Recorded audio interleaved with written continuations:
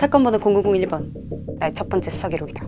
첫 수사라 매우 떨리지만 베테랑 반장님과 함께라니 안심이 된다.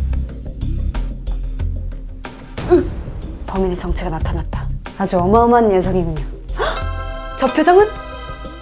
상남자처럼 생겼지만 비위가 약한 타입이군요. 반장님 걱정 마십시오. 제가 해결하겠습니다.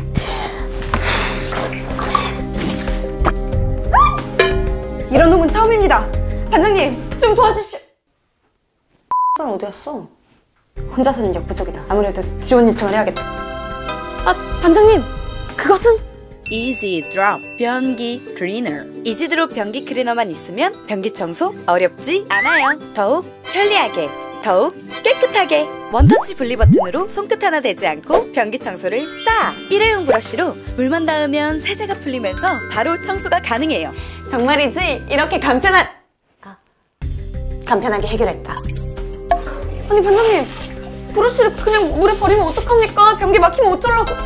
아니, 자연분해 성분의 일회용 펄프 브러쉬라서 변기에 그냥 버려도 물에 녹아 안심이라고요? 변기 청소계의 대혁명 이지드롭 변기 클리너로 수사 종결